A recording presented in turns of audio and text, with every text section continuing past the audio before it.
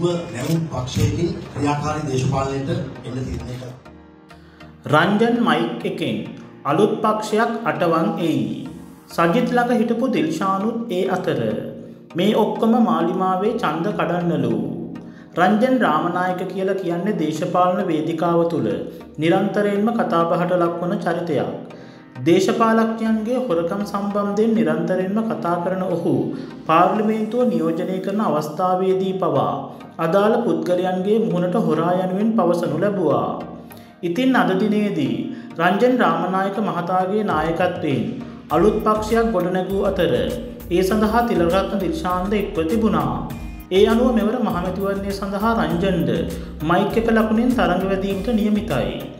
ඉතින් රංජන් රාමනායක මහතාහට ලබාදී තිබුණු සමාව කුමන ආකාරය එකක්ද යන්න.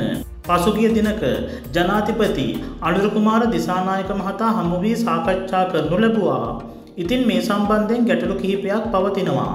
තිලකරත්න දිල්ශාන්ත ජනාතිපතිවරණයේදී සජිත් ප්‍රේමදාස මහතාහට සහය පල කෙරූ අතර මහමැතිවරණයේදී රංජන් රාමනායක මහතා සමඟ එක්වීම පෙහේලිකාවක් බවයි බොහෝ අය පවසා සිටින්නේ. ඇතමුන් පවසන්නේ රංජන් රාමනායක සහ දිල්ශාන් මෙලෙස පක්ෂයක් අටවාගෙන සිදු කරන්න යන්නේ මාලිමාවේ චන්ද කැඩීම බවයි. ඉති රංජන් රාමනායක මහතා මහමැතිවරණයට තරඟවැදීම සම්බන්ධයෙන් ඔයාලටත් හිතන දේ කමෙන්ට් එකක් දාගෙන යන්න.